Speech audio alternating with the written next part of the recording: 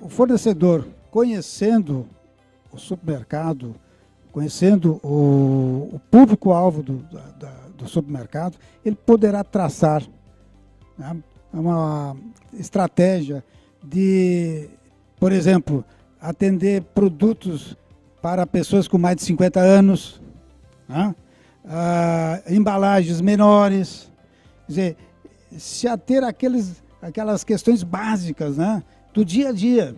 E a partir daí vai evoluindo, vai, vai se, se entendendo melhor que tipo de produtos, ou que maneira em que ele deve eh, ser apresentado, a, a questão de, eh, de fazer ações eh, dentro da loja, promoções, que todo mundo está procurando exatamente isso. Promoções, ah, ah, leve seis, pague cinco, ah, degustações.